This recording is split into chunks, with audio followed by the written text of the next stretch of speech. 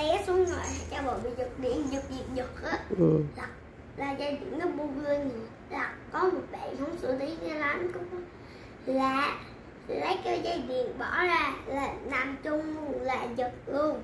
Là sau đấy có một người phải đến lấy cây chổi dược lên bỏ qua cái bên. Ừ. cư sĩ cho đi bệnh viện là xong.